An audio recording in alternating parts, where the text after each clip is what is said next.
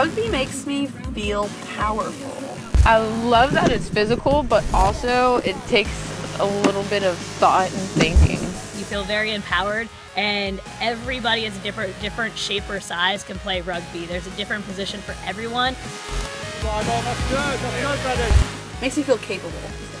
Why do you want to play rugby? because uh, I can meet like new people around the world and also challenge myself every single day to work harder on the pitch. I feel like it's something I'm good at. I feel empowered by my teammates. And I like that anyone can play too.